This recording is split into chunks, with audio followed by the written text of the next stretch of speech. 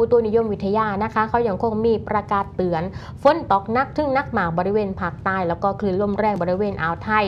ตั้งแต่ช่วงวันที่หนึ่งถึงวันที่5ธันวาคมนี่เริ่มตั้งแต่วันนี้เลยวันแรกธันวาคมเดือนสุดท้ายของปีนี้นะคะ บริเวณความกดอากาศสูงกำลังแรง จะแพสลงมาปกคลุมประเทศไทย แล้วก็มรสุมตะวันออกเฉียงเหนือก็จะมีกำลังแรงขึ้น มีย่อมความกดอากาศต่ำปกคลุมบริเวณทะเลจีนใต้ตอนล่างค่ะ เพราะฉะนั้นจังหวัดที่ต้องเฝ้าระวังอยู่บนหน้าจอเลยนะคะประจวบคีรีขันธ์ชุมพร สุราษฎร์ธานี นครศรีธรรมราช พัทลุงสงขลาปัตตานียะลาแล้วก็นราธิวาสค่ะ จังหวัดเหล่านี้ก็ให้ระวังอันตรายจากฝนตกหนักถึงหนักมาก แล้วก็ฝนที่ตกสะสม ซึ่งอาจจะทำให้เกิดน้ำท่วมฉับพลันน้ำป่าไหลหลากแล้วก็น้ำหล่นลิง ที่สำคัญขอให้ชาวเรือเดินเรือด้วยความระมัดระวัง ช่วงนี้เรือแหลกก็ควรงดออกจากฝั่งไปก่อนนะคะส่วนค่ะพี่น้องประชาชนก็ให้ติดตามข้อมูลข่าวสารจากกรมอุตุนิยมวิทยาอย่างใกล้ชิดเพราะก็จะค่ะมีการรายงานสภาพอากาศทุกวันนะคะ แล้วก็ที่สำคัญในพื้นที่ก็เตรียมความพร้อมเทศบาลอบตหรือว่าท้องถิ่นตอนนี้ค่ะก็เตรียมเรื่องของแผ